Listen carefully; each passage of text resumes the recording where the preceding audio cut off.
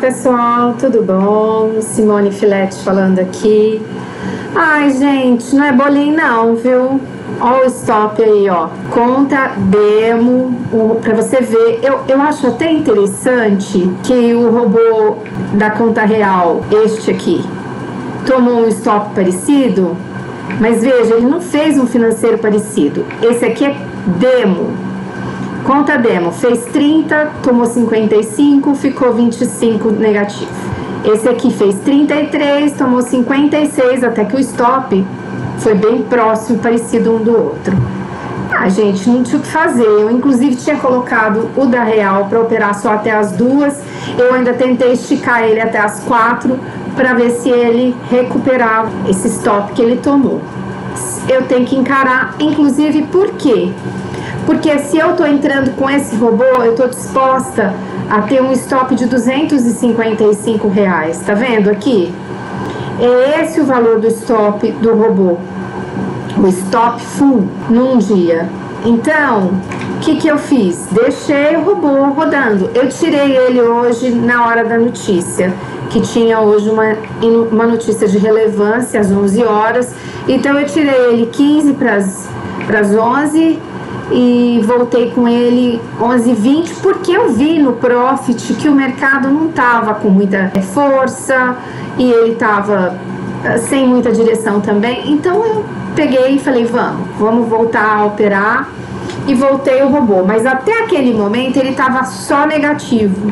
É, foi na parte depois do meio-dia que ele conseguiu se recuperar um pouquinho. Então o stop estava grande, mas ficou 23. Vamos lá, Aqui, ó, como vocês podem ver, chegou de manhã para mim a nota de negociação da, da XP. Eu vou abrir para vocês olharem. É, a Robo Invest tem uma parceria com a XP, então a gente tem 11 centavos de taxa aqui, que é da XP, essa taxinha aqui de 11 centavos.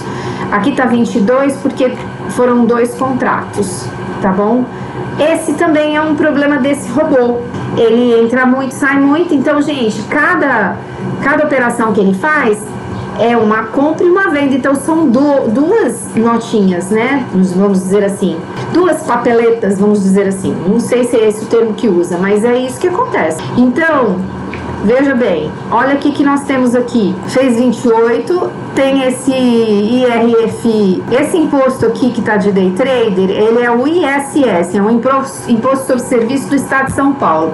20 centavos, beleza. Esse aqui é a taxa operacional que é a da XP. Esse registro aqui que não dá para sair fora, mas eu não sei se ele é cobrado toda vez. Amanhã a gente vê isso, tá bom? Outra taxinha, totalizando, gente, 7,92, ou seja, dos 28 que eu ganhei, ficou líquido 19,66.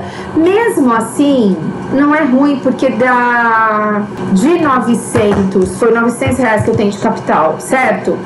Apesar dos pesares, deixa eu pôr aqui, ó, 16,66. Não, 19. 19,66. Apesar dos pesares, gente, é 2% do total do meu capital. Então, não é ruim. Não é ruim. Porém, com o stop de hoje, a gente tem que seguir em frente. Segue o bonde amanhã, opera de novo. Vou deixar ele desse jeito que ele tá e a gente vai ver o que, que vira. Eu vou com ele até o começo do mês de novembro para ver o que, que vai acontecer, tá bom, pessoal? E vamos ver na demo aqui o que, que o restante fez. O Gloriosa, bonitinho, ele faz 320, eu nem deixo ele fazer mais do que isso. Eu coloquei um lucro máximo dele de 320, então ele para de operar a hora que ele alcança esse lucro, para eu não ficar correndo o risco de tomar stop. Aqui, ó, o salário mínimo daquele que custa um salário mínimo fez 61 reais. Este outro aqui, que é um pouco mais caro, que custa 9, fez 630. Tomou bastante stop, mas ficou positivo. Vejam bem, você vê, gente, ele, o lucro dele, o valor de 630 é menor do que 1260, que foi o stop. Mas ainda assim é melhor. É melhor que ele tomou tudo isso de stop, mas ele conseguiu ficar positivo. É isso que importa. E ele opera todo dia. Esse aqui, por exemplo, não é todo dia que ele entra. Mas vamos lá. O salário mínimo, que é o que eu estou usando, que é o mais baratinho, a gente teve esse preju aí de 25. Esse daqui, que é aquele original, que é super conservador, também ficou positivo. Esse daqui, que também é, ele é um pouquinho mais caro. Esse aqui tá muito bom, viu? Esse aqui tá melhor do, esse que, que o capital sugerido é 4,730, ele tá melhor do que o de 9. E esse bonitinho, infelizmente, tomou stop de novo. A gente tinha é, conseguido recuperar um pouquinho, né? Mas ele tá, tá ruizinho. Ainda tá ruizinho. Então, pessoal, é, é isso. A gente segue aqui na luta de continuar no teste desse robô. Tô gostando de ver que ele, esse diário, ele realmente, prestem atenção nessa informação. Esse diário, ele tá de fato fazendo um financeiro que lá na conta real é muito próximo. O, o nosso robô aqui, este, que, que é o da demo, ele é pessimista. É o pior cenário que vai acontecer aqui, entendeu? Para a gente testar e afinar bem esse robô, a gente pode levar em consideração estes que a gente está fazendo aqui, principalmente o diário. Como eu digo sempre para vocês, usar o backtest para afinar o robô e o diário para ver o que, que ele vai fazer de fato. Será que ele vai performar bem? Será que ele vai funcionar no dia a dia? E isso aqui que é muito importante. E a gente está conseguindo ver hoje, com essa, essa forma que eu resolvi fazer, de trazer aqui para vocês todos os dias, o diário de um robô que é super baratinho e que pode ser que realmente faça um financeiro legal. Tá bom, pessoal? É isso. Vamos ver se amanhã a gente recupera.